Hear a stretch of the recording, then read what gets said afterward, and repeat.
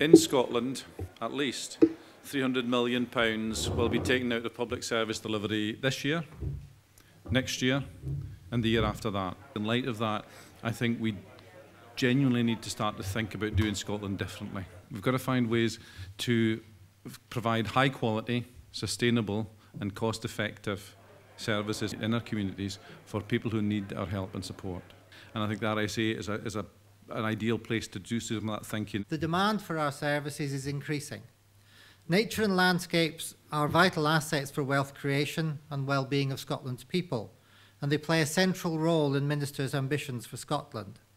It seems to me there is potentially, in all that we've been discussing this evening, a really powerful convergence at the moment. Both of these organisations came to us, and I think it was particularly bold of them to do so, at a time when they had themselves been undergoing substantial change and reform, facing major challenges, but wanted an opportunity to think differently, and that's where we came in. The report essentially sets out a number of ways in which SEPA and SNH might want to form different types of relationships, uh, which we characterise uh, in terms of a more resilient economy, preventative public services, and citizens as stewards. It proposes discussions and actions that we should take as bodies um, to meet the challenges of public sector reform and where that will lead us. Many we could not undertake unilaterally or even between us. We're going to have to convince wider groups of people to travel with us.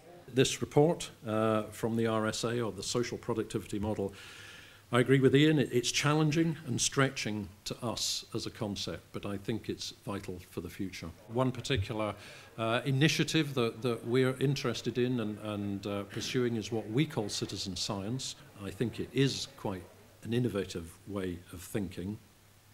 And indeed, getting that kind of engagement with citizens and the public, I think, involves being quite open and transparent about ethics and values that we've already heard about, indeed, about emotions.